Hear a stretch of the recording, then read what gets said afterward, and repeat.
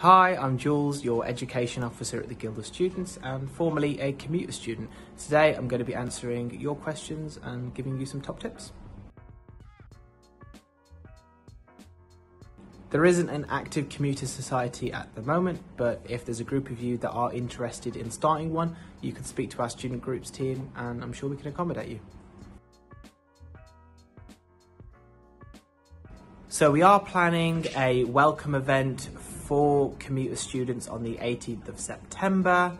Uh, there's also the postgraduate networking mixer that's on the Sunday and all sorts of welcome fairs that you can come attend.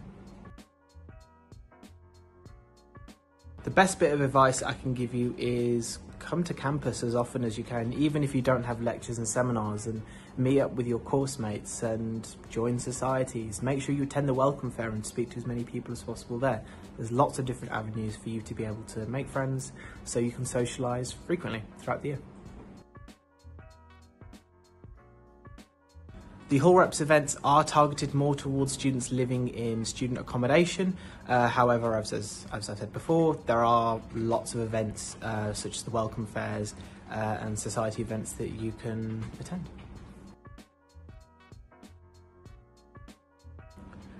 Applications for parking permits are available online. There are certain requirements you may have to meet and parking is quite limited on campus, but they're there if you need them.